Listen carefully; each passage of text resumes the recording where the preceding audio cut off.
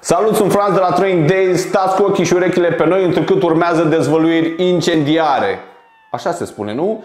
E, urmează să descoperim cele 5 grupe principale de mușchi considerate a fi folosite pentru alergare. Rămâneți cu mine!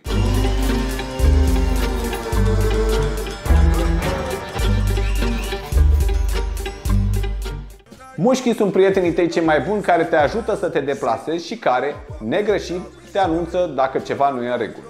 Aceste adevărate pistoane ale corpului, la semnalul nervos generat de creier, convertesc energia din grăsimi și carbohidrați în mișcare. Principalii mușchi pentru a crea mișcare în anatomia umană sunt mușchii scheletici care acoperă osul sau sunt prinși de el. Hai să trecem mai departe și să descoperim cele 5 grupe principale de mușchi considerate a fi folosite pentru alergare. Prima grupă la care ne putem gândi, evident, quadricepsul, grupă musculară care ajută la absorția șocurilor și stabilizarea piciorului.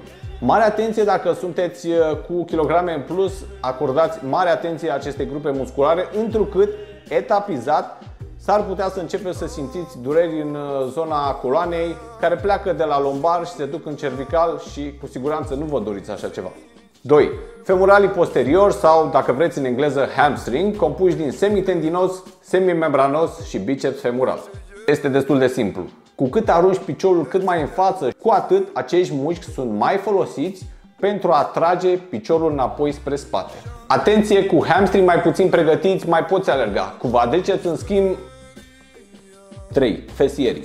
Cei trei mușchi care alcătuiesc fesierii sunt gluteul mare, gluteul median și gluteul mic. Ei lucrează împreună și au un rol foarte important prin faptul că ei sunt cei care ne ajută să stăm în picioare, ne oferă echilibru și ne ajută în orice activitate zilnică. Cu atât mai mult când sunt antrenați și devin tot mai puternici. În alergare stabilizează pelvisul și reduc astfel energia investită în această parte de mișcare. Printr-un mai bun control al zonei mediene ajută la o alergare mai rapidă prin pași mai repezi și mai lungi. 4. Flexorii șoldului. Cei mai importanți mușchi flexori ai șoldului sunt alcătuiți din mușchiul psoas mare, psoas mic și mușchiul iliac. Ei sunt adesea menționați drept mușchii iliopsoas și rolul lor este de a flexa coapsa și de a ridica genunchiul ducând piciorul în față. Cel mai adesea inii nu sunt pe listă atunci când vine vorba de dezvoltarea unei mase musculare corespunzătoare alergării, iar cele mai populare exerciții ai lor sunt probabil cele de stretching. 5. Mușchii gambei sau partea piciorului situată între genunchi și lava piciorului. Anteriori, posteriori și laterali. Unele studii spun că sunt mușchii principali pentru propulsie. Ei susțin piciorul și dacă nu-și fac treaba adecvat, mușchii de mai jos compensează. De aceea unele persoane care au gambele nedezvoltate întâmpină dureri în talpă. În încheiere aș dori să mai punctez faptul că exercițiile de forță sunt folosite pentru a dezvolta forța și rezistența la impactul repetitiv din timpul alergării, mai ales în perioadele cu volum mare de kilometri. Atenție!